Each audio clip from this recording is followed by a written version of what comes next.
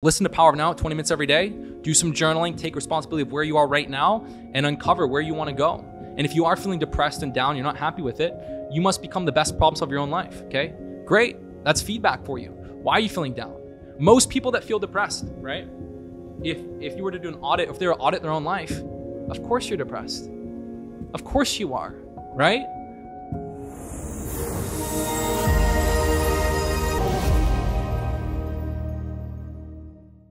Greg, thank you for coming on the podcast. Really grateful and honored for you to be here. Long time. When I first started lifting weights, it was like your content and a bunch of other people who were inspiring me. So thank you. Dude, hell yeah, man. I'm pumped to uh for you to see my stuff in the in the very key days when you're getting started. Yeah, that's the important phase of life. But I would love to start with your early days Mm. and more particularly a brick bazooka action figure. what role did that play in your life? Um, when I was young, I always was very amazed by muscle and strength, and I loved like the Arnold Schwarzenegger, Van Damme, Sylvester movies. Um, you know, I grew up in the '90s, and I also like as a five or six year old, I had like a freaking box of action figures. I was obsessed with them. Um, and like one of them in particular was this brick bazooka guy that was freaking jacked, and I just always remember admiring the strength and, and the muscle um, and it was very clear to me that I I wanted to to uh, train and and gain muscle and look good. I thought it was the coolest thing in the world. But why? Uh, I wanted to have that power. You know, I wanted to feel like no one could mess with me. I wanted to feel like I was improving myself, growing. I wanted to like be like the movie star. Like when you see that, you know, the main character in a movie that's powerful, that's strong, that's uh, you know, I wanted to be kind of the hero of my own story. I didn't want to just sit on the sidelines. So it's very clear to me like there was a link between having an amazing life, being powerful, being strong, taking action. You know, there's a link um, with that and like the strength, the muscle, and like the training. And you saw that right away? I saw that. Yeah, I saw that right away. And even like when I was watching some of those movies, like what would really inspire me the most was like you know in Rocky, like when he's training and he's working out, he's doing push-ups, he's boxing. Like I loved the work it took to kind of get the result. And even in a lot of the kung fu movies, you do see like this training component. So like I was very drawn to like the the the discipline and the training to get the result. It's funny because a lot of people start out and they are super interested in lifting weights, but then they're like, ah, like that's not for me. But for you, it seems like it's been literally every year you've just gotten more and more invested and interested in lifting and helping people. So why is that the case? Um, well, for me, if I love something, I like sharing it. Like if I find something really is awesome for me, I want to share it. Like when I started doing fasting, I was telling my friends, I'm like, tell my brothers, yes, what are you doing eating breakfast? We got to start fasting. The benefits, you know. So when I find something I, I love, I like to share it. Hence why I started going on YouTube um, when I was very young. Um, so that's pretty much the that's the kind of the way my brain is wired. When I figure something out, my initial impulse is to start sharing it with people. Yeah, I am as well. Like I and I found from doing 300 plus episodes such a common theme for content creators and people who end up making it online is like they have that same impulse. The impulse to share, the impulse to look at the world and be like I like that or I dislike that and I want to tell everyone about it. Yeah. No, exactly.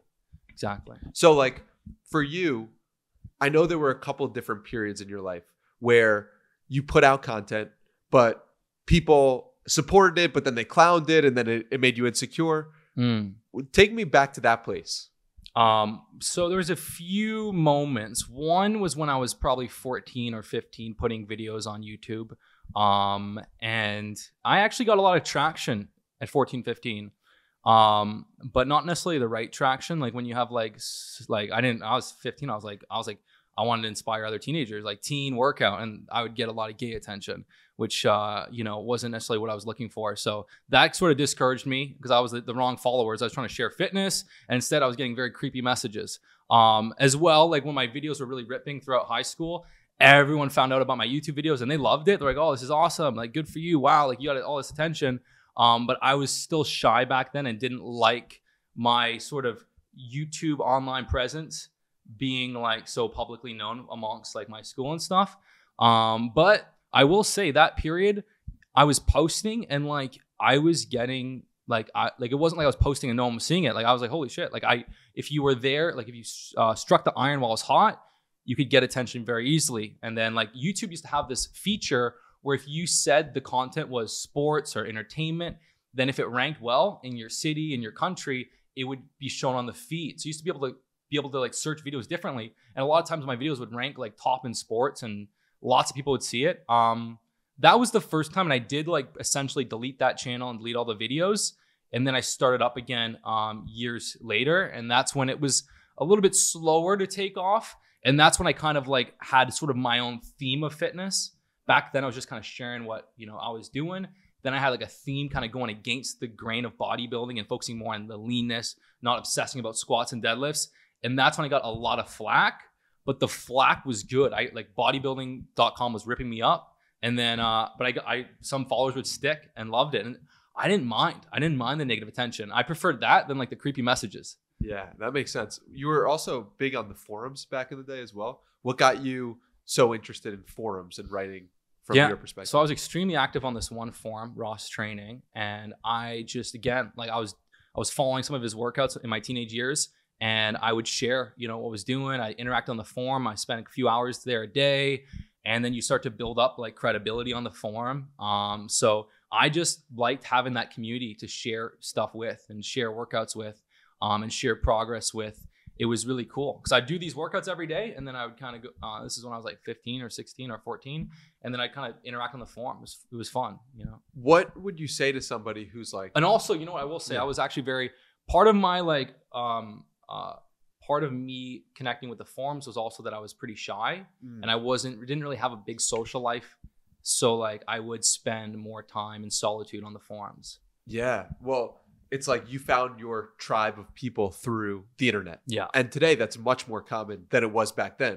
Mhm. Did you feel any sense of insecurity about that in your earlier years? Um did I feel any sort uh, sort of insecurity? Around, I'm making friends on the internet Okay. and everyone around me is making friends in real life. I mean, I, I remember reading a, an article that said, where you said, I wasn't popular, but I also wasn't not popular. Yeah. And so, Yeah, so I mean, I didn't really connect the dots about like sort of me kind of feeling disenfranchised with like people in my school and me like spending a lot of time on workout forums. I didn't really connect the dots really. I didn't really didn't even cross my mind.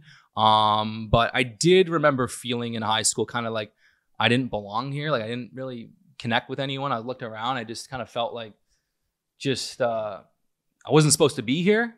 Um, you know, why did you feel that way? uh, I don't know how to completely articulate it. Well, I did. I will say I was very, very in my head in high school, so I was shy and I'd always be in my thoughts, and so I always felt a little bit stifled.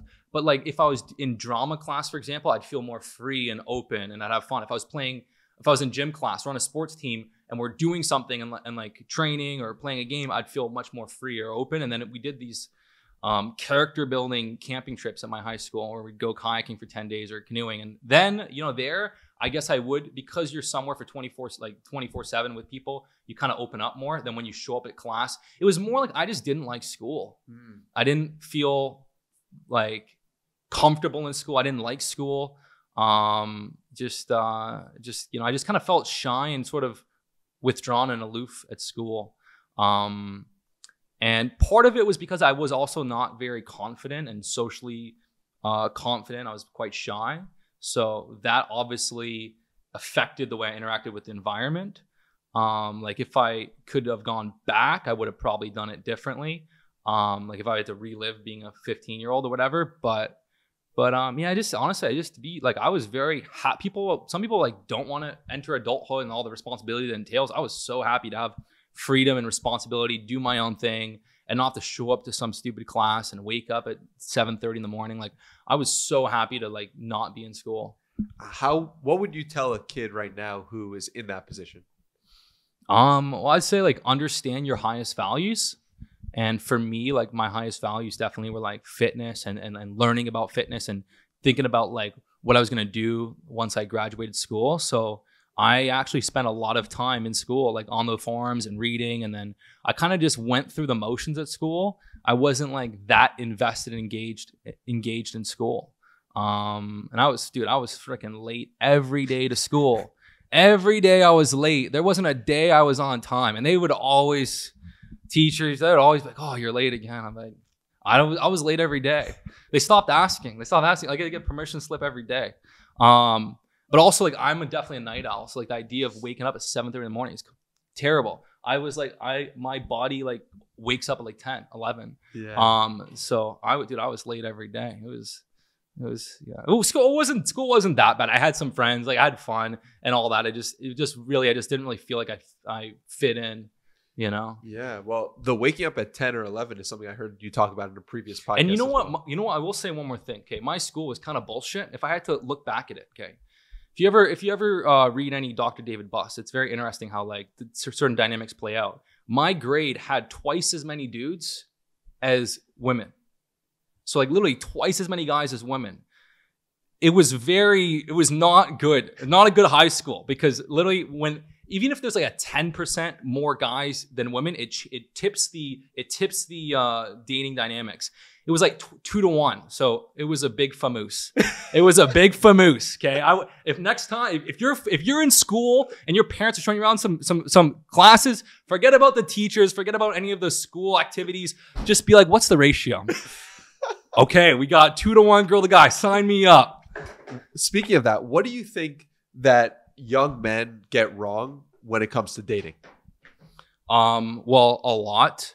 Um, I'd say a lot. I'd say one, men do not understand actually how to like create a strong connection with a woman on a date. They go about it the wrong way. Most guys feel like they have to impress the girl on a date. They gotta tell them some really cool stories, be charming and charismatic. Um, they have to put on this show, bring up little slight things that are gonna impress the girl. And women are very, very smart. They actually are a lot more socially um, uh, smart than men. And a lot of times they'll see through that. And instead, okay, so most guys, they'll go on a date and they'll think it went amazing when it went really shitty. And then, like, why am I getting ghosted? The girl didn't message again. Um, and they essentially just deliver themselves on a sil- silver platter. What guys that are good with women do is they talk like maybe 20, 30% of the time. They sit back and they just kind of ask questions. And a lot of dating coaches will say that being the interview guy is wrong, asking questions is wrong. It's complete opposite. Um, it's it's they do not know what they're talking about. Sure, if you go and approach a girl in a club and you're asking her questions, it's not going to go over very well. But if you have a girl on a date and she's interested in you, the only thing you're there to do is to learn as much about her, get her talking, get her opening up, get her sharing stuff that she feels like, oh my god, I've been on, you know, ten dates in the last year and no one's known this much about me. Um, the more the woman starts opening up and sharing with you, and the more you play a little bit of a mystery, the stronger the connection gets. And so, if you can be the one really asking the questions, getting the girl to really talk, to open up, and don't just stack question, question, question. Like, you know, it's like you have a question, she's talking, it becomes a thread.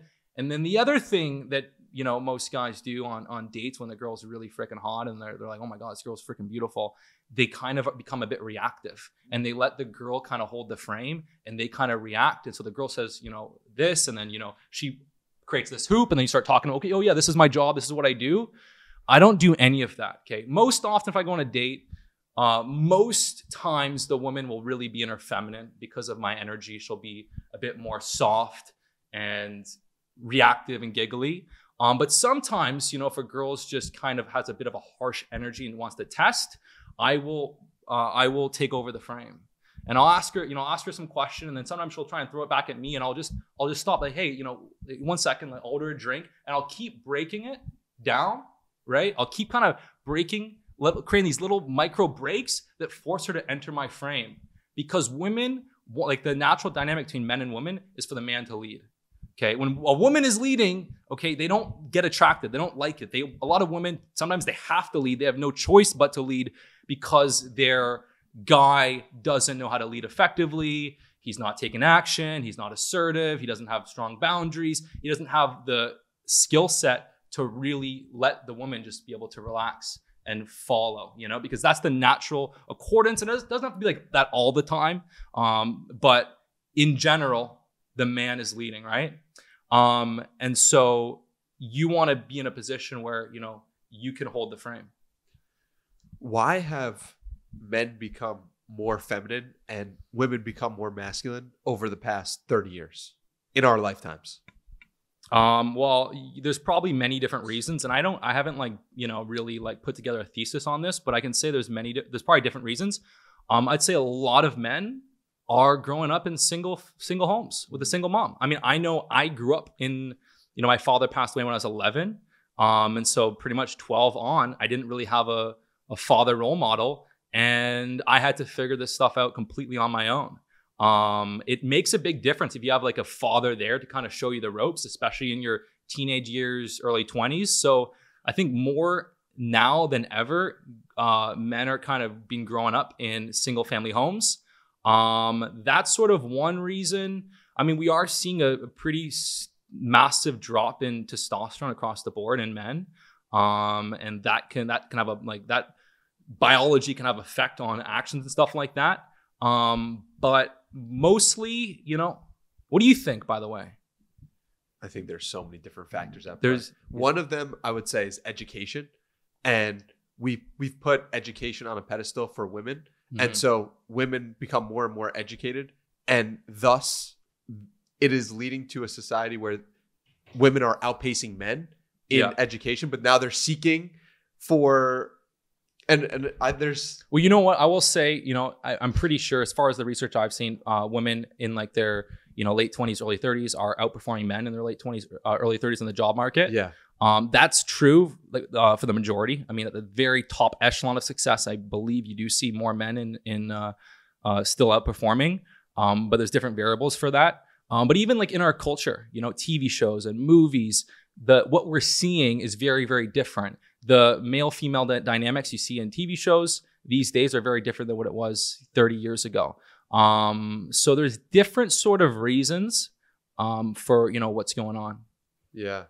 Well, what do you how do you think about that as well you mentioned before about your father passing away when you were 11 and I'm curious like how does somebody even think about that situation at 11, at 13, at 15 and now like how how has that situation changed in your mind over your lifetime?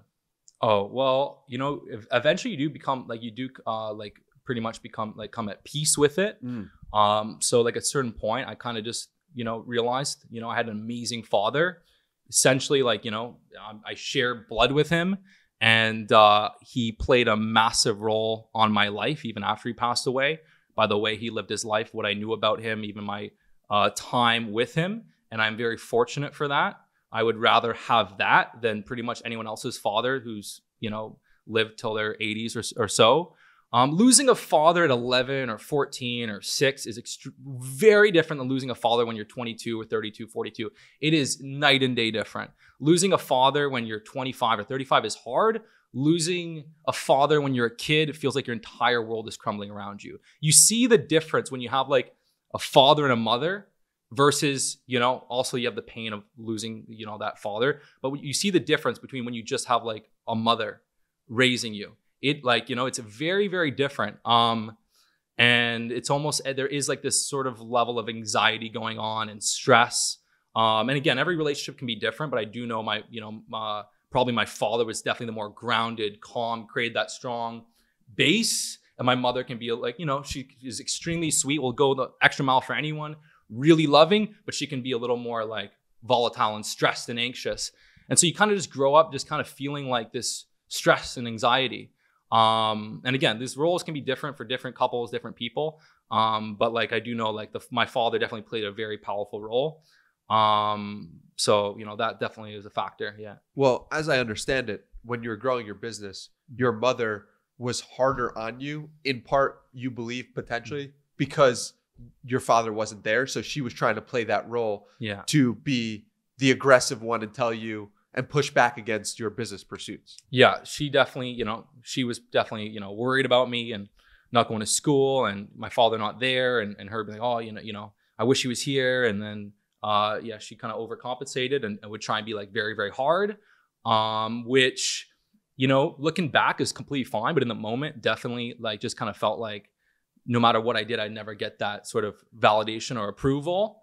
Um, but it also did like motivate me to work very, very hard. So like, it, and again, people have always will always have their different way of showing their love. Um, a lot of times, like with family members behind certain things, it, it seems like harsh and whatever, but there's usually love behind it.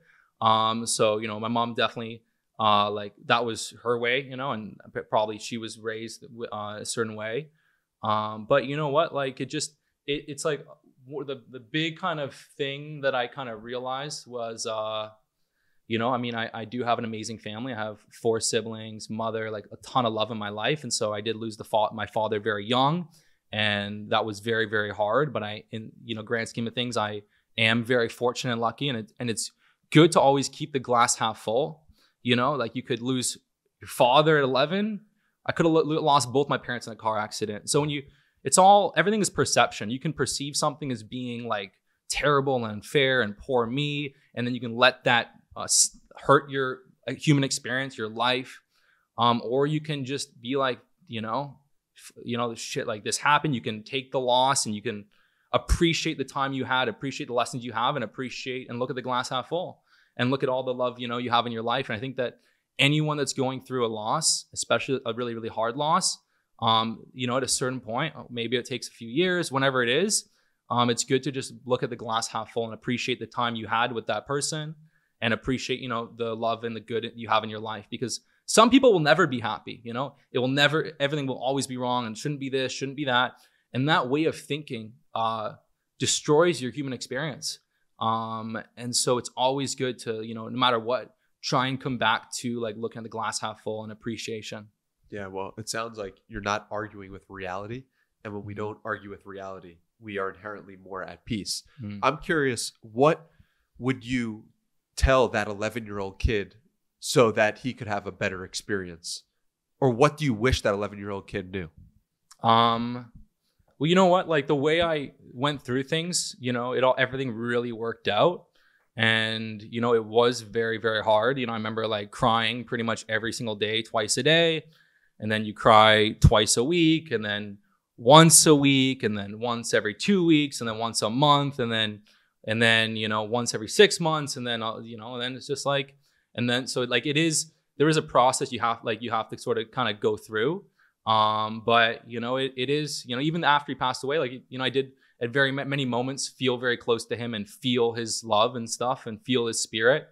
Um so i mean i don't think i would even change really a thing. I think that um it uh i think like you know everyone's got like you know their own kind of timeline but I just really wanted to make him proud, and I just really felt a ton of pressure to figure things out. And okay, you know what? Like, and my father did extraordinarily well, did like incredibly well. Um, just the, as in, accomplishments were absolutely insane. And so, you know, I'm sure like part of me like felt, oh yeah, you know, I'll get a job in the company and I'll learn everything about him and then and I'll uh, learn everything, you know, whatever. And we did sell his company um, a couple years after he passed away. And so like I just knew like I was like, shit, I gotta, I have to figure out what I need to do to become successful. I have to like figure out how to accomplish my goals. And and I didn't have this feeling ever where I was going to turn 22 or 25 and 30 even and just have uh, fortune handed to me. I knew that wasn't the way it was going to be done. And so I always knew that if I wanted to like succeed, I had to be from myself. Um, so a lot of people assume that every kid that is born into a multi multi millionaire family doesn't have to work. It's not actually not true. Um, my father wanted his kids to be hyper incentivized and to work and to be motivated, and that meant not giving them, uh, you know, some insane amount of money so they could sit on their ass and do whatever they wanted. Um, I know a lot of rich parents, their kids get tons of money and don't have to worry about working. Um, but just that was to my father building his business and you know creating his company was so much more fulfilling than the money that came, and so he didn't he didn't want to steal that from his kids. Um, and he he probably believed that it was very very important for them to to build themselves up and and to accomplish things and to become men and and uh, not just get money handed. So and I think you know what I think that was the right decision for sure. Um, I think like if you know I think that uh, for sure if I just knew that I was going to be set, I probably wouldn't have gone through the things I've gone through to build my business. What lessons from your parents do you take and you're going to want to instill in your children and what mm-hmm. lessons are you going to want to do the opposite of what they did um you know Uh, I haven't even like analyzed this, and nothing's really coming to mind. I when I have when I have children, I'll have to think about that a little little more deeply. But you know, I know that uh, you know, I I mean, my father was very focused, even when we were kids, set goals. Um, you know, treat people well, work hard, whether it was like school or whether it was sports, like work hard. You know, be hungry for the puck in hockey. Like he want, yeah, that's what he said. Like you know, you want us to work hard, and that wasn't really really important. He wanted us to like. He just told us like math is important, English is important. You know, everything else is bullshit. just kidding. But that's what he said. He said do well in math and English. That that's important. Um, set a lot of lots of goals. Um, and uh, you know that was pretty much it. And I, I, I would definitely teach when I have kids. I definitely teach them uh, very similar similar things. Um, I my father definitely didn't put as much emphasis on health and fitness as he should. He was a strong guy and lifted and played sports, but when he focused on his company, he didn't. He put 100% into his company, but he didn't take care as much of his health and fitness as he could.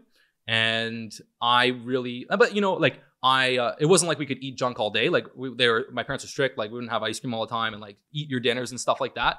But I mean, you know, I think my father, um, like with my kids, I would definitely, uh, you know, make sure I'm, I'm, and you know what? When I was younger, we do push-ups and you go jogging. But as he got later in life and as I got older, it kind of just uh, put, you know, was eating less healthy and and kind of not hitting the gym as much. And I would make sure to continue that, you know, um, continue that more.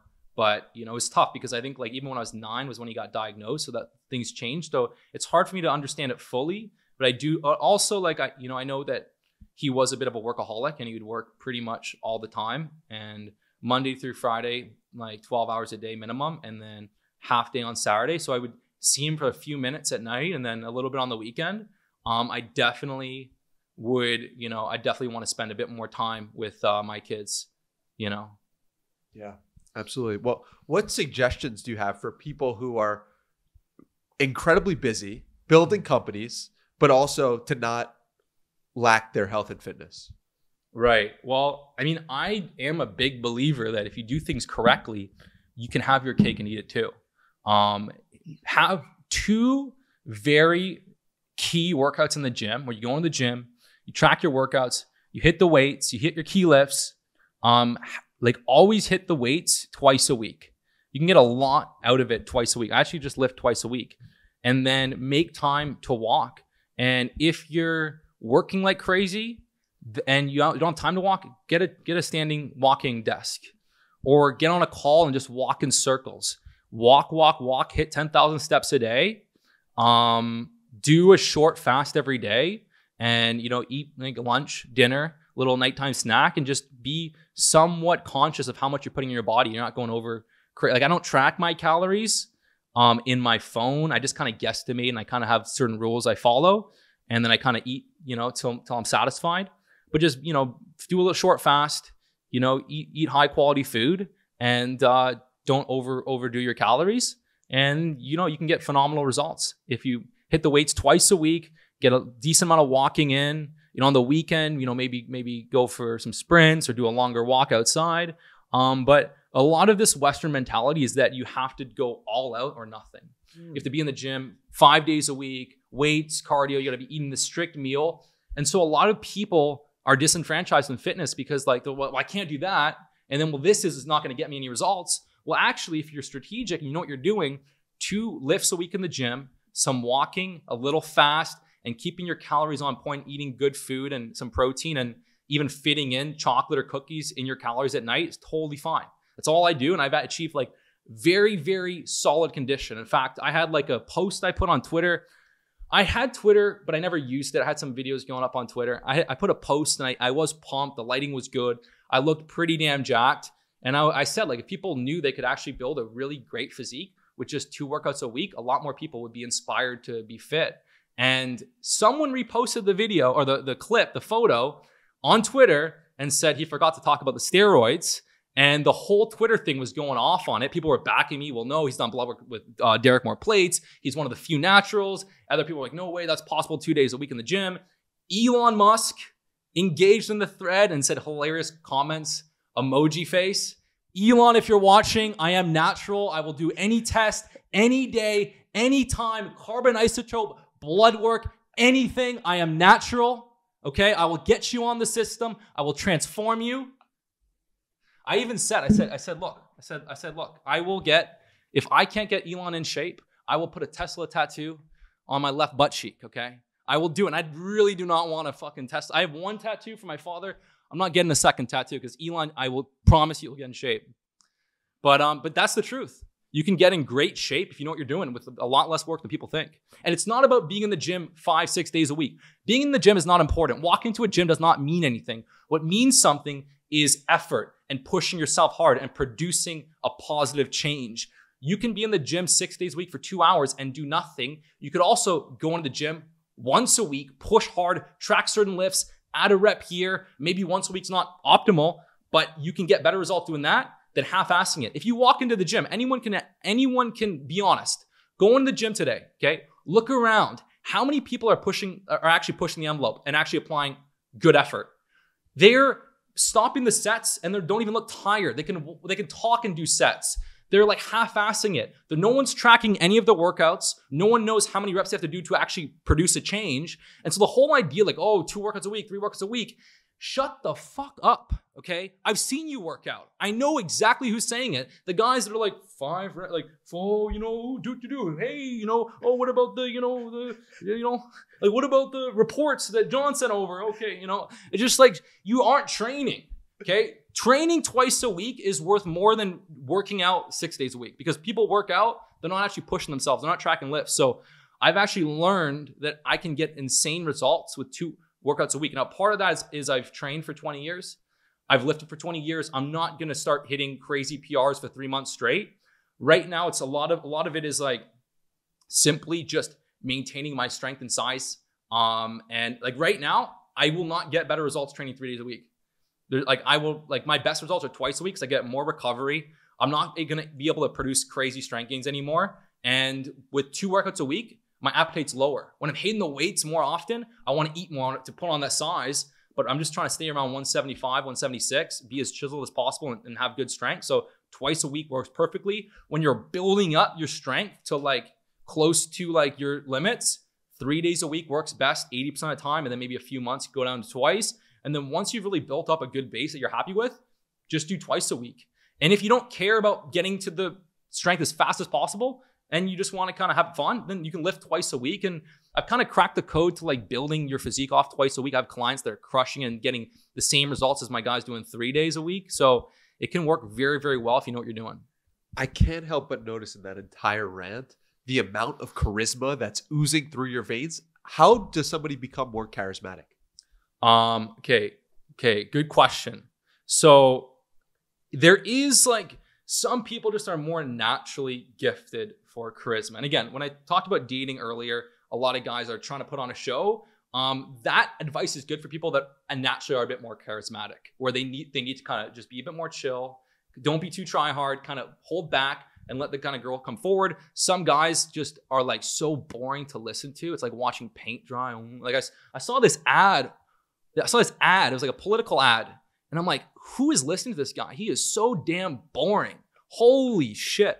Um, so if that's you, if you're the freaking guy that's boring, you start talking and people tune out and people are like, when is this guy gonna shut up? Um, then you need to work on that.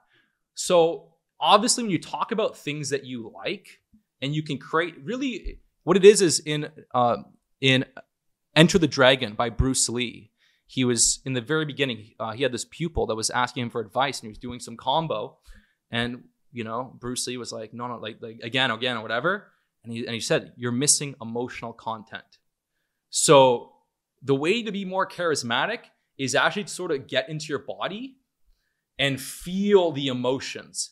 There's something called energy transference. If i am feeling really really good then automatically your that energy and that feeling is going to transfer onto you and if I'm feeling amazing passion talking about something, that's going to transfer to you and it's also going to transfer to the viewer.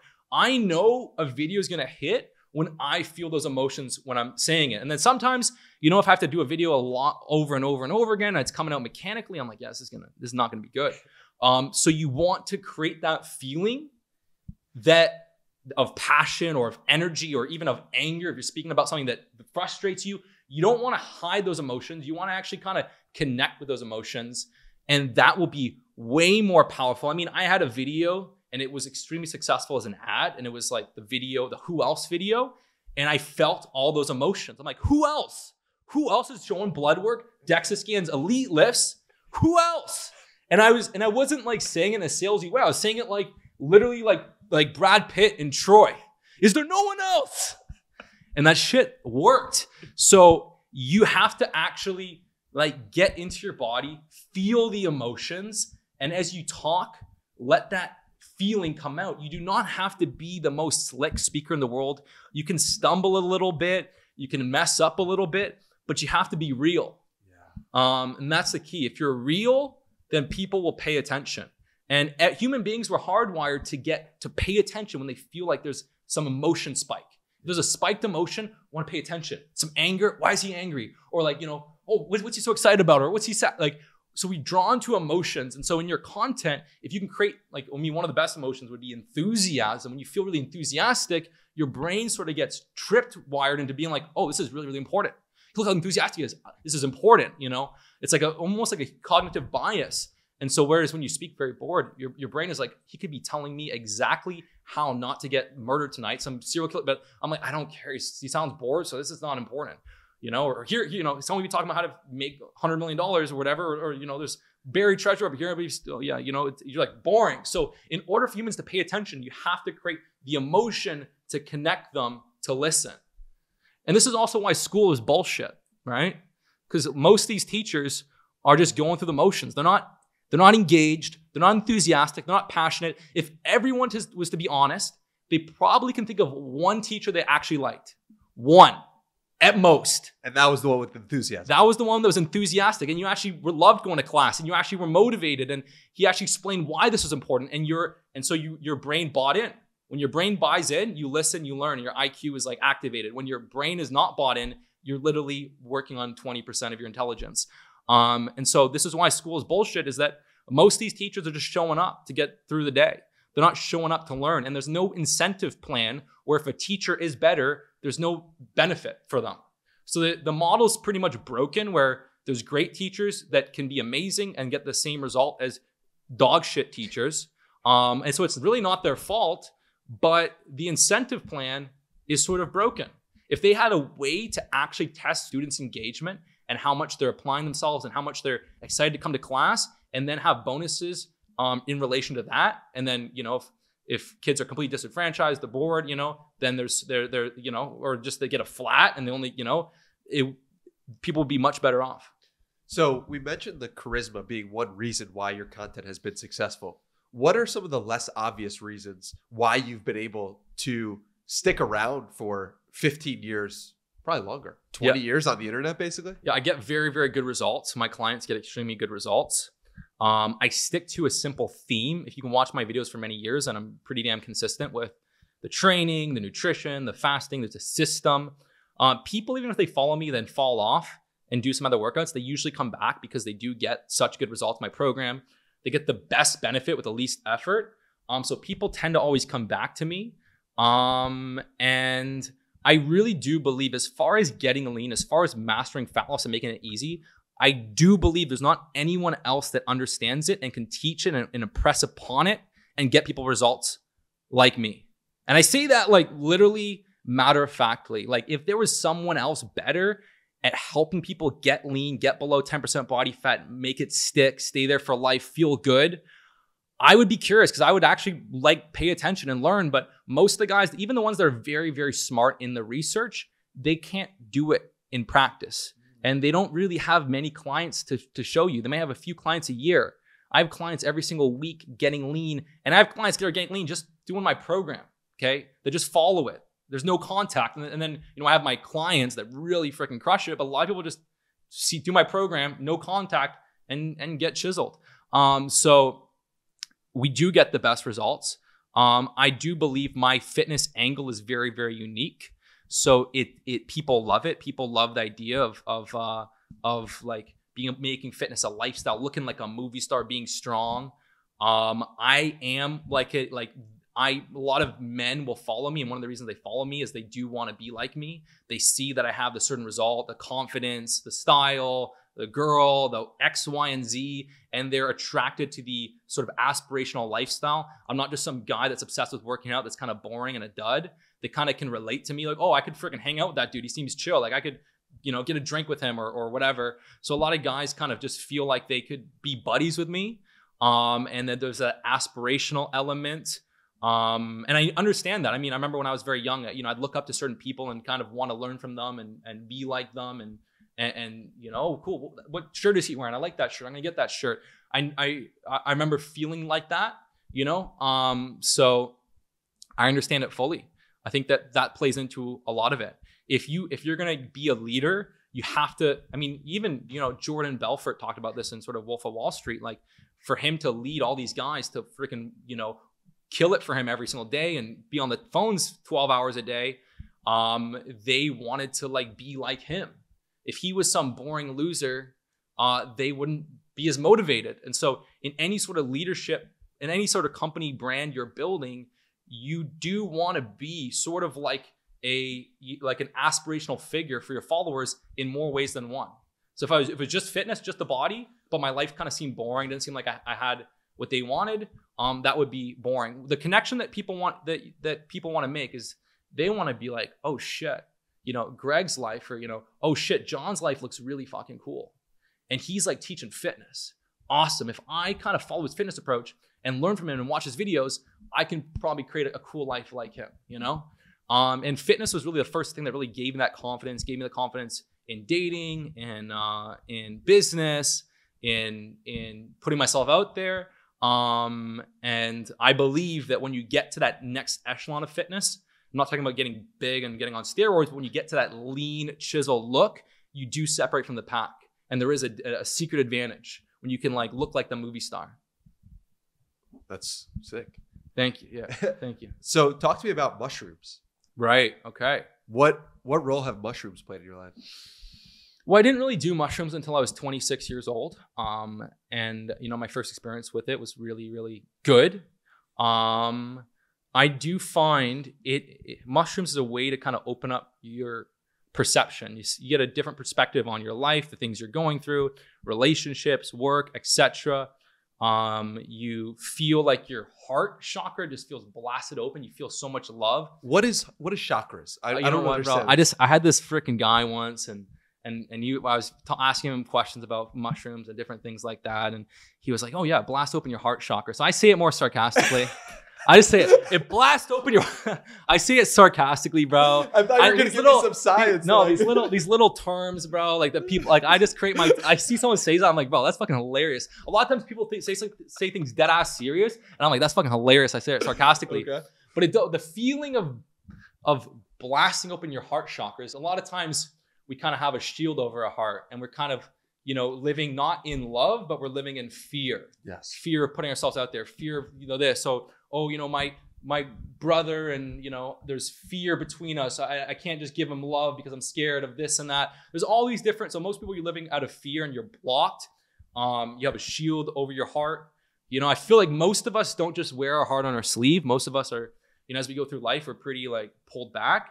And so, mushrooms, as far as blasting open your heart chakra, you just feel that a lot of times that fear or, or any pain or any sort of um, animosity is sort of like it's distorted love. And you start to be like, holy shit, there's so much love with, uh, between me and this person. And all this miscommunication and all this stuff is really just an illusion. And, and there's so much love. This person loves me, you know, and I love this person. So you do enter a state of just love you feel so much love. Um, you feel deep presence. It's not about being here or not about hanging on to your past. It's about being right here in the moment. This moment's so beautiful. Wow. I feel so appreciative. Um, you feel like a complete fullness in life. A lot of the things that mushrooms does, you can get to with meditation. If you listen to Eckhart Tolle's teachings, it all brings you to the same place. It's almost like mushrooms is like a freaking short circuit to get there. Um, it's also like a nice reset where every single day when you have emotional stress, pain, work, X, Y, and Z, things that are weighing on you and you don't do like the work every single day, you get this cumulative buildup of stress. that can kind of wear you down. And where, whereas if you were to do like a you know small dose of mushrooms once in a blue moon, it would kind of release that. It'd give you a little bit of a reset. Um, and uh, and it's a beautiful experience. It's a very very beautiful experience. I have a very you know I, like I'm not one to really always recommend things, but I think that you know if you're over 25 and you have like a pretty you know even even head on your shoulders, um, and you know I think it's an incredibly beautiful experience for someone to to have. It is an incredible beautiful experience, and if anyone's caught up in like drinking too much or you know god forbid like hard drugs doing mushrooms will make the feeling of anything else feel trivial feel like nothing feel like garbage um, the feeling of drunk like garbage um, it's just such a beautiful full serene experience um, it's lasting it like it lasts for a few hours and then it slowly kind of you know you come out of it but you come out of it in a very good place so it is a very, very beautiful experience. Um, and I know some people that are really against sort of drugs and against anything that affects your mind, um, any sort of like uh, thing that's hallucinogenic. I mean, look, if you don't want to do it, you absolutely don't have to do it. Um, but like the for me, like mushrooms isn't trying to hallucinate. It's not trying to create some crazy experiences and have fun. It's really about how can I, what am I not seeing right now? Where am I living in, out of fear? where am I not seeing the love in my life?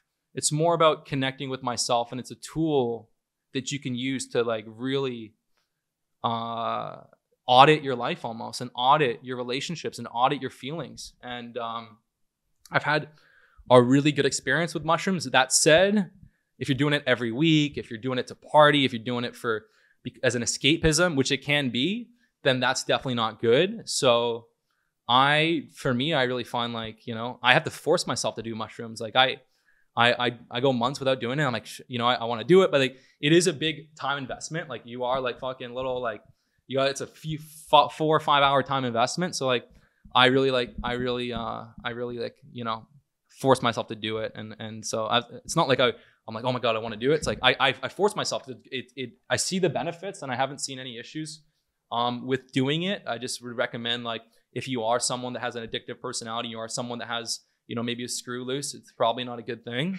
Um, but if you have a good head on your shoulders and like, it's funny, like the people that really want to do mushrooms might not always be the right, the best people or who needs it the most. It's the people that actually don't want to do it, that are resistant to it, that actually need it the most. Yeah. Well, how mushrooms are something that is pretty. Just, just like, and j- sorry, just, uh, it's just like the people that really, really hate working out a certain muscle group. Oh, I hate working out. Those are the ones that need it, or hate doing a certain workout. Those are the ones that need it. But mixed martial artists that hate doing cardio. Those are the ones that need it. Yep. So same thing, really. It's like what we resist is actually the thing that we need. Yeah. So, but you know, mushrooms are, are one of these things where it's like, it's very, it's, you can talk about it in the common culture today, but how do you think about things you can and won't say publicly? And how do you bridge the line between the things that you feel versus the things that you can actually share? Or from your perspective, is like everything is fair game. Right. Um, I, under, I understand the question. You can, you you know, there's certain ways like where you can hit like sort of like off limit territory, but you can kind of like do it in a. You can. The key is letting people read between the lines. Interesting. So you can kind of like have certain like imply certain things without outright saying anything that uh that uh you know goes too far in the certain landscape we live in where where people are freaking crazy. But i think that things are tipping back and we are seeing a bit more freedom of speech and we are seeing a little bit more balanced conversation that's very very good and very very powerful and that should be a good thing for pretty much everyone. Um any sort of restricted speech or any sort of conversation that is silenced is uh usually it's usually good masquerading uh, or, or it's it's evil masquerading as good. Oh you know we're doing this to avoid hurting people's feelings. It's all garbage. Um you have to have the ability to have conversations and you have to have the ability to um you know you have to have the ability to have to to, to say things and have disagreements and and have you know this is very very important. And once you take that away then uh and again you have to understand that the power uh most power is from the government right? So the individuals like what i like about the us is that Um, in the states, one of the things that is very important in the states is keeping your government in check, and I think that's incredibly important. I think Canadians, um, I think so, a lot of Canadians do get it, but but a lot of Canadians are completely um, uh, childish, um, dumb. Like I, you know, they're they're they're completely naive is the word. Um, the reality is is that when the government has too much power, and they always get they don't get power by telling you. Um, oh, you know, you know, by trying to restrict your your freedoms for no reason, they always do it with a hidden, like they, they always do it with good intention. Oh, we're doing this for you, for you, and and and and you know, if you have an IQ, you can see through it, and you can see where this goes. And the you know, you see the government always goes too far, and just just like when you know we acquiesced for the lockdowns, we acquiesced for the masks, we acquiesced for X, Y, and Z. We kept acquiescing, you know. It, it, just became more and more and more and more. And it wasn't until we sort of pushed back and said, you know, enough's, enough's enough that like we finally got some semblance of, of normality back. At least that was the way in Canada. And so if you keep acquiescing, then you're going to be living in a world with very little freedom. And so you have to understand that um, the government and, and, and the way the power is structured, they want, they, it's not like they don't want power. Of course they want more power. They, of course they want more power. Um, and so keeping the government in check is the most important thing that, you know, you can do. And I think the states seems to do a better job at that, although it's not even perfect. Um, but I do understand, like they, they do have that sort of um, ingrained in their culture. Greg O'Gallagher mm-hmm. is president, and obviously you can't be president of the United States as current rules suggest. Mm-hmm. But if you were president of the United States, mm-hmm. what is one action you would make sure every American citizen had to take every day? Um, well, as far as a daily action that Americans have to take every day, um, can you give me an example? Like, let's say you're a dictator, actually. Okay. So, like, you have the power. Okay, I, I understand the question now. Okay. Yes. So, if I was president of the United States, okay, A, right? There's no more breakfast. Any of these breakfast restaurants, we're shutting them down. We're all fasting, non negotiable, okay? There's no more loud chewing. Okay, you're not allowed to be a loud chewer anymore. That shit drives me freaking crazy. Um, we're gonna set the sleeping temperatures to at least 64 degrees. Anything higher than that is pish posh. Okay, I um you really sleep at 62 degrees? I sleep at like, bro, 62. Like I can sleep at 64, 65 with a fan on. I can do it, but like 62 is my shit. Wow. Yeah, and you know what? You know what the sign is? The sign that a girl freaking really loves you is that when like she really like is like fuck it, she's like oh yeah I like it cold, and then when they adapt to that, I'm like oh shit she loves me. when she's like yeah I like it cold too, and then you know they bundle up, you know just like for me like a lot of like strong cologne, perfume, scents, it bothers me. And if I find a girl's like really falling in love with me, then she starts like, oh my god, this Uber had so much air freshener, it gave me a headache. They like they literally create the same thing as you know. I've seen it. I've seen it. Yeah. So okay, so no breakfast, Yeah. no chewing, 62 degrees for sleeping conditions. Well, so I mean, I mean, uh, um, like obviously, if I was president, I wouldn't want to create any things that people have to do. I'd want people to have more freedom. Yeah. Um, and I mean, it's funny, you know, I'm looking at the U.S. and moving here. The U.S. tax code is is like insane. It is so complicated and confusing you guys got some crazy tax code here. But I, I would, um, you know, I, I, there's quite, I would, you know, create a bit more freedom, a little bit less, you know, rules. Um, but yeah, I have to think about it a bit more. Yeah. Well, I do like how they're doing things in Florida. I will say that. I think Florida's doing an amazing job. Why? What are they doing? Well, I mean, so I think it's one of the few states that actually brings in more money than it spends. Uh, it feels safe here. I'm not gonna lie. Like in Florida, Miami, it feels really, really safe. Um, you know, the taxes are lower people seem happier here. You go into LA and it, it's like people freaking seem like kind of miserable. And you get into LA and the energy feels off. Yes. Um, and and the crime is out of control. The the uh, debt per capita is insane. And again, like if a country, if a state keeps losing money and still running at massive deficits over and over and over again, like I think a lot of people don't understand what that means. Um, but the fact that Florida, I'm pretty sure, and Texas, I'm pretty sure by and large, are actually uh, cash positive I have to you can fact check me on that, but I'm pretty sure that's what I read. Um, is actually pretty cool. Yeah. it's rare in today's day and age. Yeah. I, I want to talk about and the, and the way they handled you know the pandemic and, and the way they they allowed businesses to stay open they allowed people to continue to uh, make an income for their family they allowed businesses not to lose all of their money and and, and just have businesses destroyed the way they fought hard to keep things open um, was good and i really really support that and a lot of other states and a lot of other countries even when they knew the benefits of lockdown or the benefits of lockdown or the benefits of staying open way far outweighed um the you know any issues of the lockdowns. Like they kept doing it. It just it seems very like it seems pretty uh pretty bad man. Well, it's hard when people have, nefarious. people are become they buy into a position and then it's hard for them to look at a different position and think it's correct. Right. I mean, if anyone kind of last few years that you kind of have to create a lot of distrust with the government, um, simply because I mean, a lot of relationships, families crushed, uh, life savings crushed, businesses crushed, um, lives, people have died, suicide, drug overdoses. A lot of horrific things happen um, because human beings are not wired to be stuck in an apartment 24 seven. And, uh, you know, it's, it's pretty, you know, and we're not, you know, it's, it's, so I mean that stuff's pretty damn pretty damn bad, you know? Yeah. But back to the individual and the human being. You've said before that the number one thing that allows you to work hard is having self-belief. Yeah. How do people gain self-belief? Right. I mean, there is some element of just fucking having like deeply just having this innate self-belief.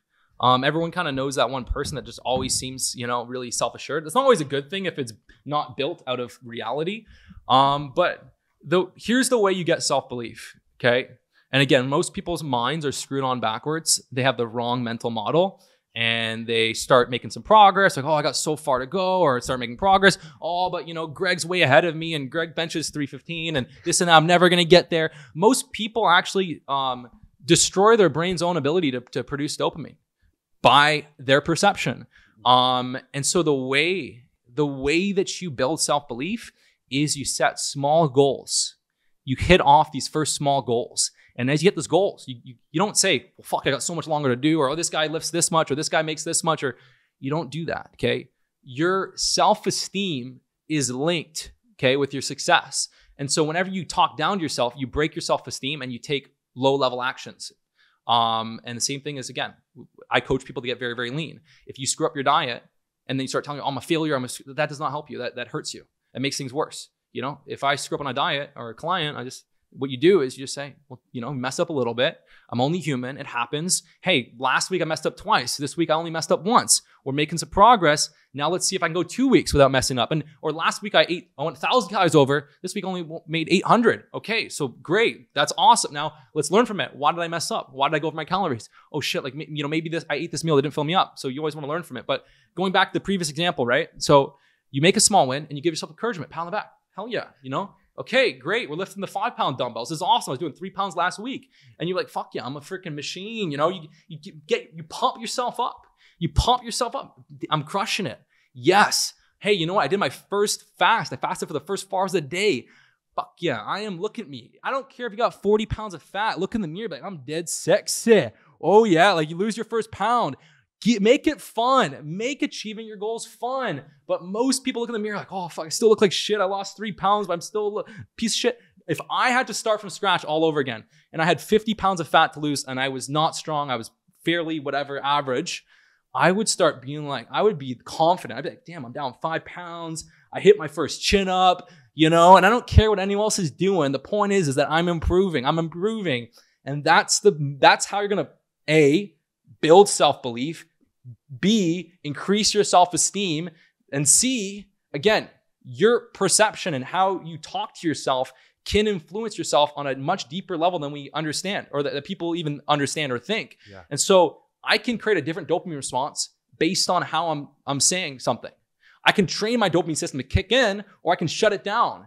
And most people, when they make progress, they give themselves, they, they still give themselves negative self-talk. Mm. You need to reward yourself when you're winning.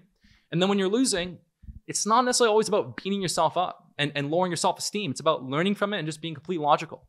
Okay, you know, I messed up here. All right. You know, what happened? Having a little bit of empathy towards yourself goes a much further way than than than than trashing on you. Just like if you have someone that maybe is in a more of a position of authority than you that's always shitting on you, does it make you want to work harder? No. So when you talk to yourself in a really negative way, why would that make you want to work harder? A huge part of that is keeping your eyes on your own paper. I feel Mhm. like in life you want to take things from people and you take thing something from this person, you take something from that person, but like it's it's just a journey for yourself. And Yeah. it's just about you versus you. And when you don't have your eyes on other people's paper, oh, look how much Greg could bench press. Oh, look how much. you- That's like a, such a negative way to go about life. It's a very negative way. And you know, even if you take away everyone else and, you, and and even with your own self, like you have to just be logical. Oh, why did I mess up my diet? Why did I do this? I'm such a failure. Okay, forget about yourself for a second. Even in Power of Now, Eckhart Tolle talks about this. Like, let go of the self. You know, um, and if you can act more out of logic, okay, I did. Okay, forget. Why did I do this? Why? Okay, you did mess up. Okay, what happened? You know, if you if you get into being going beating down yourself and and this and that, it doesn't get you anywhere. You, there's no amount of negative self talk that makes you a better person or makes you take more action. Like it's it's li- literally just be dead ass logical about it. Okay, where did I mess up? All right, let's let, let, let me stop. Like the beating yourself up doesn't do anything. Why did I beat myself up? Okay. You obviously messed up for a reason. You didn't do it because you're, you know, you didn't do it because you're a loser. You know, you did you did it for a reason. Figure out what that reason is and how do we it's all about it's all just problem solving. And if you get too emotionally affected, you can't do effective problem solving. what got you started with Eckhart Tolle? Um and have you read a, a yeah, New Earth? Uh, yes, I've, I've read them both. Yeah, Yes. I, I had a mentor, and uh, and uh, you know he was, uh, you know he was like, bro, you gotta don't read a New Earth. Listen to the audiobook. Listen to it every day. Listen to it 10, 20 times. It will change your life. yes. I've seen people read it and they don't get it. They think they understand it. They don't get it. Listen to it 30 times, 40 times. Do your freaking Tolle every day. And I was like, okay, you know, I was like, okay, I was like, you know what, this this person fucking is legit. Let me fucking do it. And you know, at first, first few days, I was like, well, what's going on? And then finally, it started sinking in. I felt like this amazing shift, for sure. Yeah, This book changed my life four years ago. Read it, hell yeah. and I was just like, oh, I see the ways in which I was operating with ego. Oh, I see this. And it's like, whoa. And I, I need to reread it like every. Yeah, listen to the audio, man. It's like meditation. Eckhart's voice. It's insane. Be in the night. I'll- yeah. I gotta listen to more often. I used to do it every day, and I'm not as consistent, but it is very impactful. that daily Eckhart. Yeah, he's got That's gonna stay with me. Imagine you're walking through fog with a flashlight. he doesn't know how to say flashlight. Flash with a flashlight. Um, talk to me about buying Antoinette and your cousin a trip to Hawaii. How'd you hear about that? we do our research here. Holy shit. Okay. Oh, um, yeah. So I mean, it was this past Christmas. Um, I, you know what's funny? Okay, one of the moments of my life where my dopamine levels were just fucking insane. The strongest my dopamine has ever been.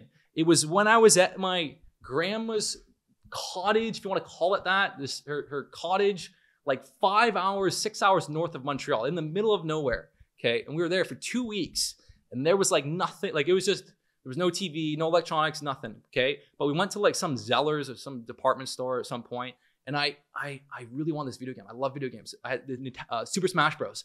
I wanted this Super Smash Bros. game so bad, and at the I do remember the price. Yo, those those games used to be like eighty bucks. Okay, when this like this is in ninety five or ninety six, eighty dollars. Okay, they're insane. Video games back then, you think they're like oh 20 bucks. Okay, um, it's like eighty dollars, and I and I convinced her to buy me Super Smash Bros.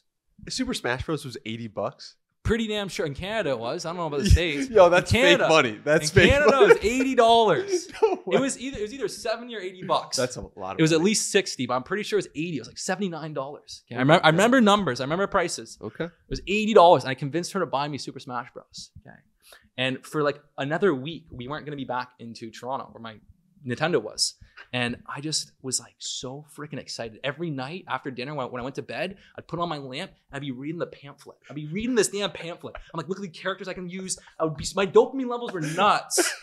Um, and most kids at seven, eight years old, they're already scrolling through TikTok and on Game Boys, and they're and then it's very hard to succeed. You don't have control of your mind. That was like insane. My sheer excitement to play Super Smash Bros. I've never felt that before. Okay, I've literally never felt that before. Um, and so she bought me that game, and she's been very generous with uh, myself and my siblings. Um, and like, and uh, and you know, I I uh, and so her daughter Caitlin, you know, I think I was having like a nice Cadillac Kino Margarita on on day before Christmas. I was feeling generous, and I said I asked my cousin uh, Caitlin, who's like 16 or 17, 17. I said I said, hey, you- would you guys want to go on a trip? She's like, yeah. I'm like, okay, great. I'll, I'll get you guys a trip for like a week. And she's like, oh my god, amazing, amazing. I'm like, would you want to go to like Bahamas or Mexico? And like, she's like, Hawaii. And I'm like, yo, okay, Hawaii is kind of far. like it's from Montreal, it's like two flights. And I, I know the Hawaii ain't like they have certain like good resort deals in Mexico and, and Dominican and, and and whatever. And I'm like, yo, they don't have that in Hawaii. And so uh and so I'm like, shit, okay, damn it. Okay, well, I can't like if I'm gonna treat someone, I don't want to compromise and give them like the like, oh, well, let's just do this. All. I'm gonna go. I'm just gonna go all out, whatever you want. And so she's like Hawaii, and then I'm like, okay, great. I'm like, here are the different resort options: Ritz Carlton, and then you want to do like seven days or like eight eight days, and and so, anyways, um, it felt good. My aunt was speechless; she didn't believe it, but it, it, it felt good. You know, once in a while, it's nice to do something like that, and uh, and uh, no, it felt very very good. I think they're going on the trip like today, uh, Saturday. I think they left today, Oh, so. wow. Yeah, no, synchronicity. Yeah, synchronicity. So uh, no, I think they're it's very very good. You know, it's nice to I work very very hard and I do very well for myself and uh, and also like I've sometimes spent money on stupid shit. Like my flight here, just to fly from Toronto to Miami, which is three hours. I didn't. I could have booked it a few days ago. I didn't book it, and like there was only one freaking seat, and I was like four grand. What? Yeah, it was like four thousand dollars. You spent four thousand dollars Like to be here. thirty eight hundred. Yeah, Canadian. So it's like whatever you want to call it. It was like twenty nine eight hundred US. Stupid. And it was in like American Airlines. Didn't First class. Uh, it was like it was like business class. It wasn't the pod. It was like pretty. It was a business class, and, and you know I will say my my uh my stewardess wasn't really that great. I was like, hey, can I get sparkling water? It took like an hour. I had to ask her twice. Okay, for four grand, can't even get sparkling water. Yeah, but you know what? Honestly, I, I don't regret it. It was worth it. I wanted, to, I had to get. I, I was worth it. I'd rather spend four grand than than you know a snowstorm happened. I don't even know if their flights gonna they were gonna happen. Um, and again, we had this podcast. I wanted to show up, so I was like like thirty eight hundred dollars. Wow. big famoose. Yeah, Wow. But the reason why I asked that was about because you said you've said before that generosity is something that you need to work on or that you you don't usually do that.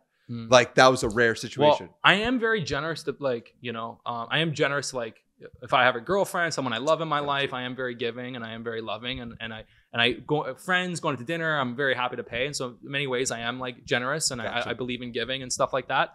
Um, but in in more in some of those other ways, like I just remember like being a kid, okay? Like and this this definitely has deterred me from getting as invested in charity as I could be. But as a kid, four, five fucking times a day, these people trying to get on the phone my mom and my mom being very sweet and oh yeah okay? Sure you know? And just like they, we got bombarded 5 10 15 times a day by these people trying to get money for charities. And a lot of those charities you, where does the money even go? And so like i just associate giving to giving to charity to being on some call list where my phone starts ringing 30 times a day. And i hate when my phone is ringing. Any phone call i get i'm like fuck just wow i got my phone ringing like it's very it's very uh it's very you know it's it's call my phone okay just text me to call me it's a little uh you know a little bit arrogant i'm just kidding well, but it to take up my time yeah No, but it is funny that people have different ways of preferred communication. yeah And it's like we don't know this because no one's been taught like, oh yeah, I prefer to text or oh, I prefer to call or I prefer to FaceTime. Mhm. And people have different ways of communicating that they that they actually like, which is fascinating because it's a new thing that's all happening. Yeah i i kind of find a lot of times phone calls can be annoying or at least like text me and then do a phone call sometimes it's fine but like if i'm in a, a work rhythm it's easier to just look at a message and be like okay cool then like a phone call answer it hey what's up hey how are you okay and then what about it it just it's not time efficient Got you. you know it's not time efficient yeah Talk to me about naming products. Something that you've done tremendously well is your names. The names you Mhm. have are they they hit you. Yeah And I know you spend time thinking about that. Mhm. And it's interesting because I always discounted naming of Mhm. products and things, but it's like I've seen it that the naming itself is part of the product. So how do you name products effectively? Well, anything I do, release, um, I want to feel like it's fucking cool. I have to feel like this shit's cool because I'm the one that's gonna be taking it probably more than anyone else. I'm the one that's using it. I want it to feel cool. So that's the first thing. Anytime I release a product, I'm really just releasing something for myself and sharing it. That's how I view any product I do. I'm releasing something, I'm creating something for myself, and then I'm sharing it. I'm creating this workout for myself and then sharing it. Um, and so I have to feel like it's cool. This is effectively for me. And uh, I care about names. Names, I think, are actually pretty important. Um, and I've always kind of like like really cool like cool names. So I take my time and I I'm an idea person. I throw things out there and I'm like, oh no, that's shit. And uh, you got you got to give yourself permission to come up with some shit ideas for the good stuff to come out. Um, but I I a it just kind of comes to me, man. It's like a gift. I think like, it just comes to me. I just sit on it. I'm open minded. I put my phone away. I'm like, what is this name? I'll sit on it a few days. And every time I've released something, like it just felt right. I really, you know, I mean, Kinobody was very, very cool. Um, you know, like I did different things like Movie Star Body, Warrior Shred, Aggressive Fat Loss, all very cool. Kino Octane. I was in a car I was coming up with the name of the pre-workout with one of my business partners at the time, and it was just like pre-workout, like pulse, pump, no, and it's just like, like what is a pre-workout? It's like energy. It's like fuel. Like, okay, fuel, energy. What else? Cars, right? High like octane is like the is like the fuel, right? kino octane. It sounds sick. KO, kino octane. And then, you know, um, let's say like uh, Mojo was probably like my most, you know, genius moment of my life. I just, I was like, hey, I'm really seeing that there is ways to naturally increase your testosterone, even if they're in the healthy, normal range. Let's work on this, okay? Boom. Like I, I tested all the ingredients out. I was like, this fucking shit is awesome. Let me create a name. And I'm like, a lot of these testosterone boosting names, they're not, the names aren't real with what it actually does. Okay. You're not taking steroids, you're not taking TRT, you're not tripling your levels. It's not some Testro 1000X. It's not none of that garbage. Okay. What are we doing with this product? I, I get deep into it. And so I'm like, okay, this is a testosterone support supplement. We're supporting your body's ability to produce testosterone. What does that do? Are you going to gain muscle twice as fast? No. Are you going to just turn into some machine? No what is testosterone? You know, okay, you know, it's it's that masculine element, right? It's it's going to give you okay. What are the benefits we're getting? We're not tripling muscle growth. What are we getting? Getting a bit more energy, a bit more drive. Our sex drive is higher. Our we have more passion. Um, we get more excited to train. You know, when you have a bit higher, when you increase your testosterone, you get more excited to train. It's also if you ever have a few days of really shitty sleep, training feels like pulling teeth. Part of that is because you're on low sleep. Part of that is also because your levels get suppressed a lot when, when you're sleep deprived. Um, and I'm like, fuck, what are we doing? Okay. And I was like, we're getting our mojo back. It's the mojo. Men have lost their mojo. The fact that testosterone is down 25 to 40% in the last few decades means that men, by and large, have lost their mojo. The difference between being at like 400 and being at like 600 is or 550 600 and the, the drop in, in free testosterone i actually think is worse than the total. Um, but that's the difference between like losing your mojo. Um, and so we're getting that mojo back. Working out is more fun. Sex is more fun. You know working on your business is more fun. Life is more fun. And so mojo i was like fuck, that's a genius. How has no one done this before? People think all these amazing names have already been taken. That's not true. If you tell yourself that, you're not going to come up with a name. There's still amazing names out there. You have to recognize there's amazing names out there. Try and understand deeply what is the product, what is it doing, what makes it feel cool to you. If I was like, oh, I'm taking test test 1000, testro this, testro that, I'd be like, no, I'm taking my Kino Mojo, the Kino Mojo. Yeah, I love it. Yeah. I love how you break it down to the simplest elements and try to get to the simplest elements because mm-hmm. that's what true knowledge is. Yeah. It's like going to the heart of something. And I've always with my names, it's always been really about feeling effortless and cool, not trying to be try hard and intense. It's like even when I go to the gym, I'm not going to the gym in some crazy like fitness outfit. I go to the gym in like whatever I want. A vintage tee and shorts, just a random ass t-shirt. I don't care. I've done workouts with my boots still on. Like I just go to the gym. I don't care what I'm wearing. I'm lifting some weights. And so like with my names, I try and make them feel a bit like effortless, not like try hard. We're trying to be fit. We're trying to be cool. Um, and so like Kino Mojo is kind of like kind of funny, like Kino Mojo, like Austin Power Powers, you know. Yeah, you It's like we're, we're having fun with it. We're, not we're not trying to be. It's not trying to be so intense and hard. It's like it's effortless. Yeah. you, you threw an Austin Powers reference earlier there.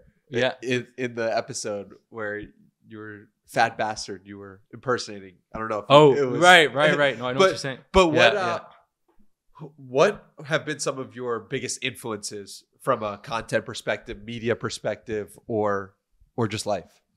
Um, early on, it's hard to say. There wasn't really any YouTubers that I actually found uh, that I actually was really, really invested in watching. I never really watched many fitness YouTubers. I kind of just didn't really vibe with um, their content. Um, I kind of did my own thing as far as my content. Um, even the way I when I used to do like day in life vlogs, I just didn't really take any sort of inspiration. I just did my own thing. I would do less quick shots, just me on my iPhone, like chilling, like you know, girl, like longer shots. So like I didn't necessarily take much inspiration from other people as far as my content. Um, I will say in the last couple years, like I I did um I, I did connect with Andrew Tate um before he popped off on social media when he only had a few hundred thousand followers. And I did I did talk to him quite a bit and I and I did see his his content and I I and it was cool. I liked how he basically would talk about anything. He didn't just stick to, you know, promoting his offer and, and he would talk about, about anything, be candid. I, I, I, you know, as far as uh, charisma, I found he was very, uh, in interviews and stuff, very charismatic and, and very like dialed in. So I did, when I saw him, like before he really popped off, I was like taking some notes. I'm like, hey, he really, really knows how to like capture uh, attention. He really knows how to like, you know, really like come across well on, on camera and and he also kind of plays it up a little bit he turns it up a little bit E- even just in not even in what he says he does that of course but in the way he says it he magnifies emotions um, which is really really actually really powerful um, and uh, and and actually you know what to give credit where credit's due i think like when i did that who else ad that really took off who else I just what I what I liked about what he did, and this is also on dopamine, right? Like I think I think the way he he uh, I think he actually trained his dopamine system very well because him and his brother would just be having so much fun. Most people in London or in Europe, they're like start to make money, they're shyest, they're sheepish. Oh, you know, gotta hide it. People don't want people don't like flexing, and he'd be like, "We're flexing on the broke boys and lamb." Like he just it's like a six year old has a hundred million dollars. And so having fun with it and just telling yourself you're so awesome, we have all this. Yeah, it's arrogant, but it actually is very good for your dopamine system. It gets you excited. When you punish yourself from having success and oh, I shouldn't share it, it actually takes the fun out of it, and it can actually uh, uh, dampen that dopamine response. Um, and again, you know what? Uh, they can test this out. Test this out. Don't just take my word as voice of God. Test your dopamine. Try these different things out. Talk to yourself this way. See what happens over a long enough time frame. Um, but I, I have firsthand experience. Like when you when you have fun with it and you really like you know, okay, you're getting, oh, we're having a Lambo. You're like, so it just, the way he, the way he operated was very, very good for motivation. Extremely, extremely good for motivation. Um, and then in that who else video, uh, so one of the things he would do pretty well would he would ramp up the way he talked, and he would speak like he would just, if he was good, like he would 10x it, awesome, like you know. Um, and so you can be arrogant. Some arrogance it gets people to listen and they like it. When you speak with absolute confidence, you cut through the noise. Um, so a lot of people are kind of raised, and we're actually raised. Oh, you know, don't stand out. You know, you know, kind of like you know, you don't want to upset people. You don't want to break a few eggs. Like just kind of be likable, be likable. And so the way that most kids are raised is to be likable. Okay, and that's fine, right? The problem with that is that you fit in, and it's very hard to separate from the pack when you're focused on being likable. Mm. And yes, you don't want to be a dickhead. And yes, you want to be kind. And yes, you want to treat people well. All of those things are extremely important, okay? But if you're going to separate from the pack, you have to be willing to take a little bit of heat and you have to be able to raise the noise, raise the temperature a little bit. You just have to do it in calibrated ways. Like you can do it the wrong way and, and just make uh, a mess for no reason. Um, but by like being by, by kind of being like, yeah, I am the fucking shit. And like, yeah, this is freaking awesome. And like, who else is doing it? Who else? It's like people freaking love that shit. And I and people respond to that. When you see someone that speaks with absolute confidence, absolute conviction, you're like, I want to listen. And then at first you might be like, At first, and this is actually very, very normal, okay? And this is actually not a bad thing. At first, when you someone speaks with absolute conviction and confidence, you're gonna make this guy's full of shit. This guy is full of shit. And you keep listening and you're looking to see, okay, is this guy full of shit? You're looking for and looking for it. And if the proof is there, then you're like, fuck, good, okay? Like, hell yeah. So if you actually have the result and if you're real, you can actually magnify the way you talk, speak with absolute confidence and authority, and people will come at you and they'll be looking for the chink in your armor. And as long as they can't find it, they'll be like, fuck yeah, this guy's awesome, this guy's dope. But uh, again, you can't have the chink in your armor. So I mean, uh, when I speak with absolute conviction and confidence, I'm like, well, here's my blood work. Well, here's my eight years of DEXA scans. Well, here's thousands of transformations of insane results. Here's me repping 315 on bench for six reps at 175. Like it's just so much freaking proof. It's like, fuck, okay, well, no one else is showing that. So, all right, fucking, I'm buying this program. So you have to be able to back it up. But if you can back it up, you can magnify the conviction and the, the, the conviction how you speak. You mentioned before about Andrew Tate, and I'm curious what you think of him, his imprisonment, and him being held in. Right. Well, I mean, obviously, anyone like kind of watching, um, like going off the evidence, it just seems a little bit off, right? Like I haven't seen any sort of like uh, any sort of like victims really come forward. It just seems like it's it it seems a little bit shady, right? What do you think? I don't know. I don't know. Yeah. Really, that's what I'm curious from your know. perspective. It's, just, it's it's like I mean, like I think he's been locked up for like three months now. They keep extending it. Um, there's no charges that have been made. Um, some of the women that were called victims have come forward and been like, "No, I'm not a victim. It's not. It's not true. This didn't happen." So all of that sort of evidence, it just makes it seem silly. Like I think in the very beginning, a lot of people were like, "Oh my God, what did he do? This is terrible." But then as time has elapsed, you know, you see CTV footage of of the supposed victims walking around getting pizza. So I mean, if you actually just look at the evidence, it's it's actually pretty scary that you know that um, in certain places they can actually uh, kind of uh, you know do what they want. Um, I mean, I, I you know, so it is a little bit, a little, it is pretty uh, sad to see. You know, I think uh, continuing his jail sentence and holding him is, I don't know. Do you see? I don't see any evidence to keep him inside, um, and I don't see the threat. So yeah, it's actually pretty sad. It's wild just that there's no, there's been no look, trial. I'll, look. Well, I'll say this: if he didn't erupt to massive amounts of fame, he wouldn't be in jail. If he didn't have the m- crazy influence that he had, um, however you judge that influence, whether you think it's positive or negative, um, good or bad, um, if he did not have that influence, I have a very hard time seeing that that things would have played out the exact same way it did. Um, obviously, a lot of people do not like him having that level of influence. Um, so I don't think it's. I think there's a connection there. Interesting. Yeah, it, it's just. But I think everyone thinks this. Everyone, every, everything I'm saying, it's not like it's not like I'm saying some crazy theory. I think everyone, even people that support him and even people that don't support him, probably can agree. Yeah, this is okay. I'm not seeing the evidence. I'm looking into it. I'm not seeing any crazy story here. Um, I see almost proof that almost supports him, and yet he's still in jail, and much of the world does not like him. Uh, much of the world wants to cancel him. They want to cancel him from social media. It just like it just the way it's played out um, looks like there's a link between his popularity and them them holding him in jail. So I mean, it, it is bad. No matter if you like him or not, it is a bad thing. You don't want to live in a world um, like that. we've never seen somebody blow up so fast and and hit people at such a deep level. Why do you think that he resonated with so many people? Um, I mean, you know what? Like he was very entertaining to watch. He was extremely, extremely entertaining to watch, and he uh, had a voice that that very few people could could. I think there's a lot of people that tried to sort of say similar things as him, but they weren't cool. Um, or they came like you know what? If here's the funny thing, right? There are people that have certain messages as him, but kind of come off as like assholes and, and dickish in, in interviews to his credit, if if anyone that doesn't like him, if they watch his long form content, he's actually very likable in long form content, even with people that um, he doesn't dis- agree with. He's very respectful. The way he's able to actually share his thought and his argument is actually very well done with women, especially. Um, so he actually like has a he's he's a you know almost like a cartoon character, right? He's a cartoon character. Um, professional kickboxer, got the cars, the Lambos, tons of money, living life on his terms, you know, living all over the world, traveling, um, perhaps beautiful women too. And so he has like this kind of aspirational lifestyle that a lot of young men find enticing.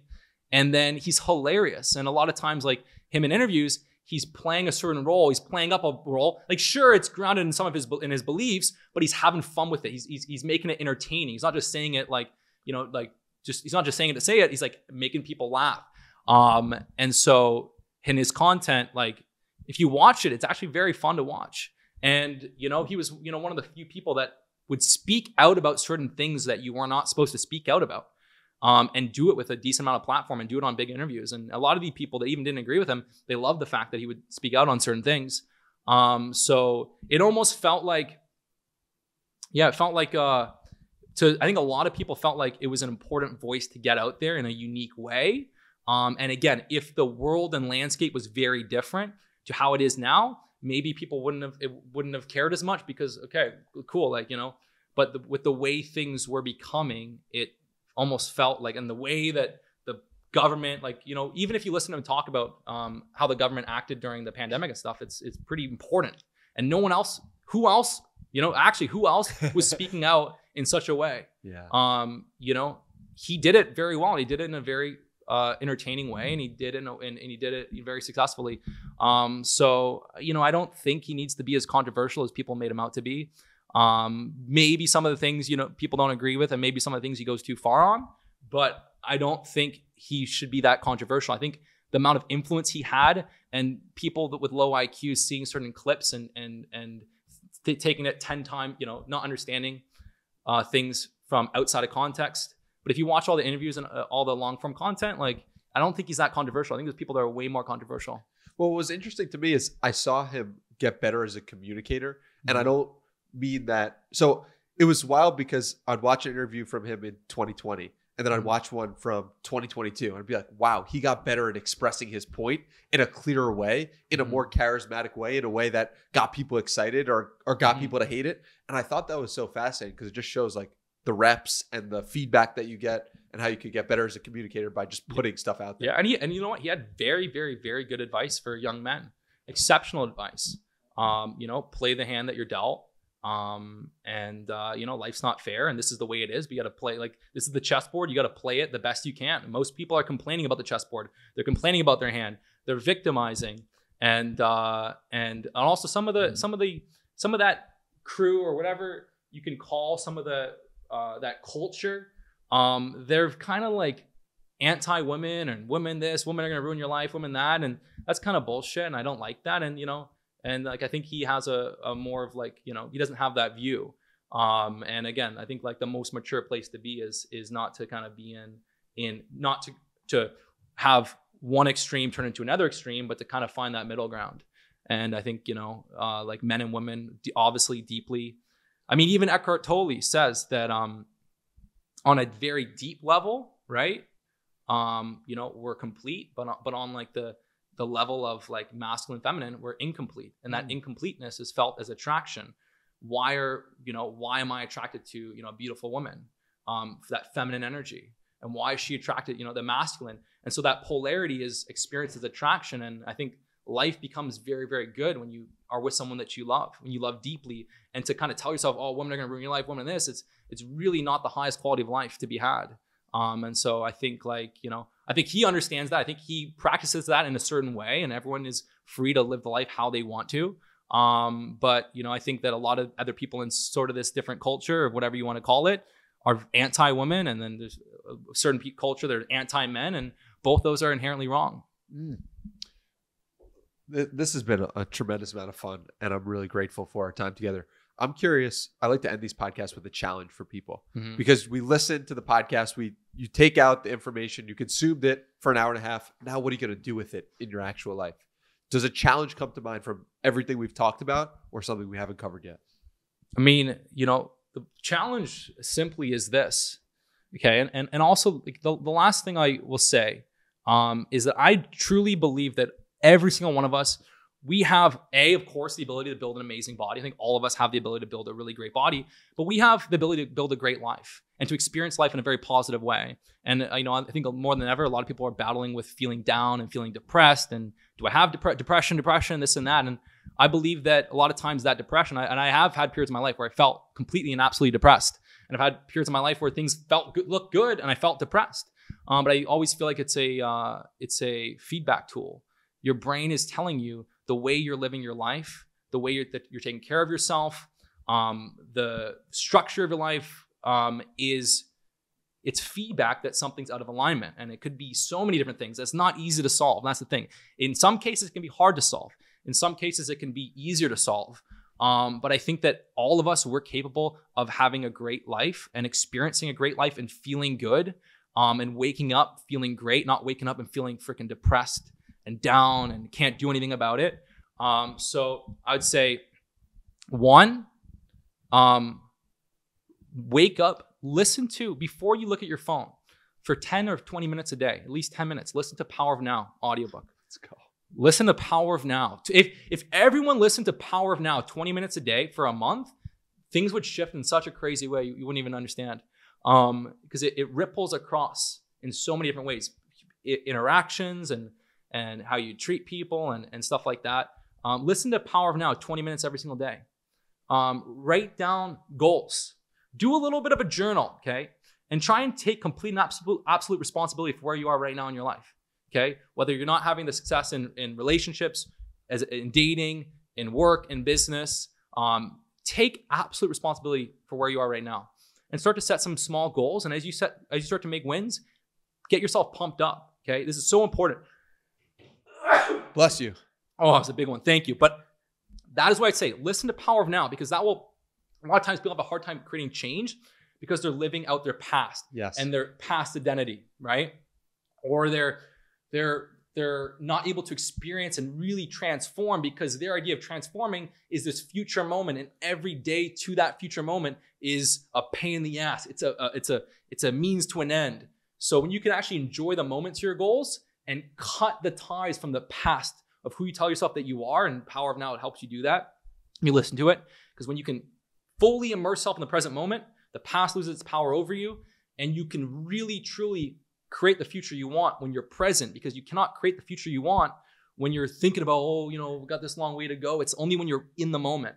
Um, and listen to Power of Now 20 minutes every day. Do some journaling, take responsibility of where you are right now, and uncover where you want to go. And if you are feeling depressed and down, you're not happy with it, you must become the best problem solver of your own life. Okay.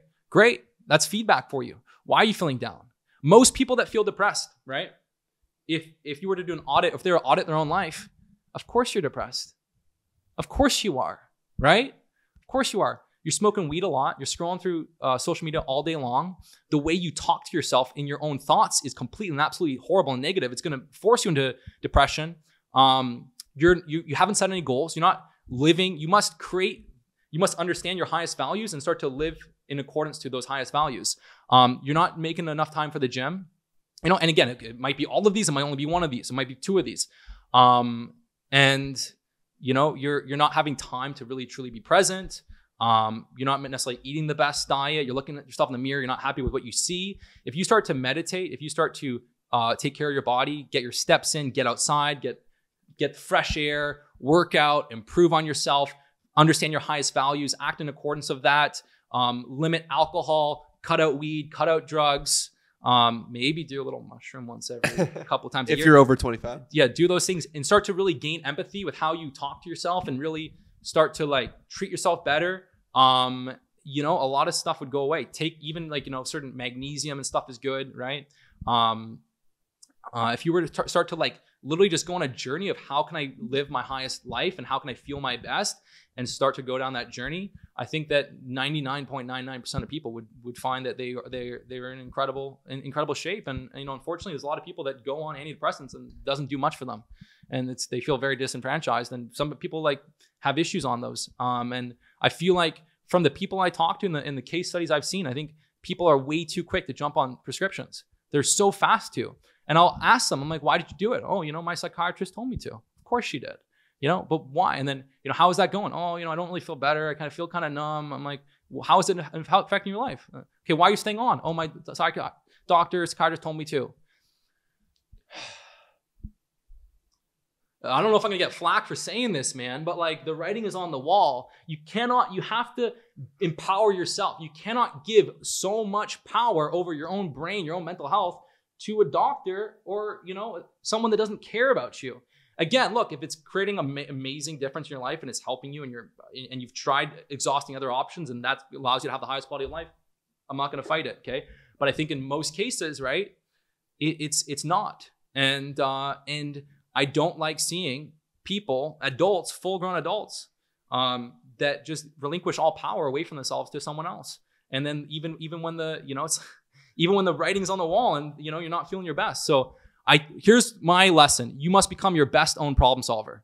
You have to solve your own problems. It's very very important, and I've always felt like that. I've never looked for other. I've looked looked to learn from other people, but in the end, I have to make the decision. I have to solve my own problems, and I do believe that the highest quality of life out there is really you can be had it can be had and and and uh, and I've I've had periods where I definitely felt depressed and and absolutely and I've always been like hey I can solve this I can figure this out I can get out of this and then uh, and then again it's not like some I'm set for life it's something you have to work at every single day and uh, you know and, and again and last thing I'll say is like people are scared of feeling negative emotions they're scared of feeling hurt they're scared of feeling negative they're scared of feeling down and again, it's that's the life experience. You're gonna feel good emotions, you're gonna feel bad emotions. You cannot be scared of feeling negative emotions. If it's there, allow it to be there. Okay. And if you allow it to be there, it's not as bad as you think. Um, and our society has become so soft and and and curtailed that like we're scared of feel so we're just trying to keep ourselves in comfort. And the biggest thing that's going to push you into depression is always trying to find comfort. The more you chase comfort, the more you feel depressed the more you try and be happy, I'm happy, I'm happy. Someone, I had this debate with someone. I think it was a date I had. I don't even know when it was um, in New York. And uh, and she's like, I just want to be ha- happy. Like, that's important to be happy. Fuck happy. Happy is bullshit.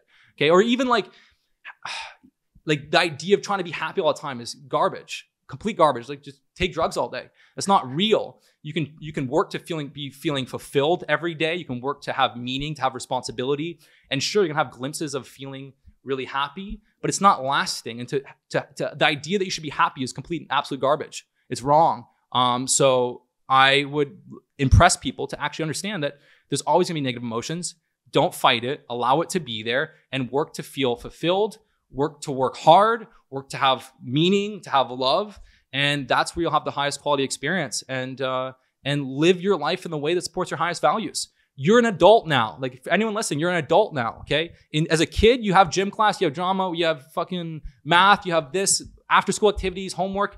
You must create your life in the most productive way to uh, fulfill you.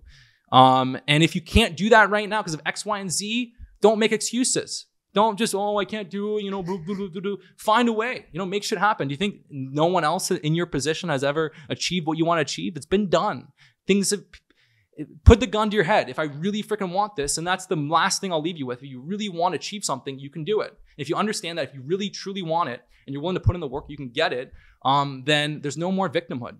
Um, but again, listen to Eckhart Tolle, journal, take absolute responsibility, set your goals, and start reading your goals every day, and start making making shit happen. Have you ever watched any of those Greg Plitt motivational videos where it's working out to music and he's playing, he's just speaking bars after bars after bars, and it's it's the greatest thing ever. Have you? Yeah, seen yeah, those? I've seen those. They're great. They're really Someone great. should take the challenge that you just did. Mm-hmm. Take the last ten minutes, fucking put some training footage, Mhm. and put some music in the background, and that will be just an incredible video. I might have Pablo do this. Let's do it, man. Video do it. Pablo, I'll do it. I'll have one of my guys do it too. You know. dude, that was incredible. Thank you. Thank you so much for your time, dropping wisdom left and right. Yeah, you're going for the handshake. Oh, Let's go. fucking Yeah. it, baby. Um, where can we send people to connect with you further? Um, yeah, sure. My website's kinobody.com, K-I-N-O, body.com. And I'm on Instagram at Greg O'Gallagher. And I'm also hitting the, the tweets these days. I see you on um, Twitter. Elon sees you on Twitter. I'm hitting the Greg O'Gallagher tweets. So Instagram, Twitter, my website, and I'm on YouTube too, Kinobody. I'm all over. Um, but you know, definitely hit me up on Instagram or Twitter. we love to see it. We'll all linked below. Thank you so much for your time. My pleasure, man.